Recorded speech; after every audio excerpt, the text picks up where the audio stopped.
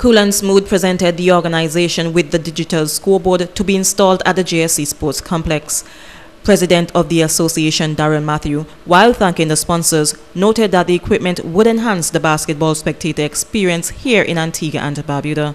Cool and Smooth agreed to purchase to the tune of approximately $15,000 this very large electronic scoreboard, which I'm quite certain will definitely enhance basketball up at the JSC Sports Complex and also enhance basketball here in Antigua and Barbuda. Cool and Smooth representative Camille Horani was grateful for the Antiguan support and also expressed the establishment's undying promotion of sports here in the Twin Islands state. It's because we're grateful for Antigua. Throughout the years, we have received tremendous support from the community. To have a customer come to the store and tell us they walked one or two extra miles just to see if we have the product before they go anywhere else. That alone is a reason for us to continue to be grateful and provide support throughout the island. Bikiza David, ABS Sports.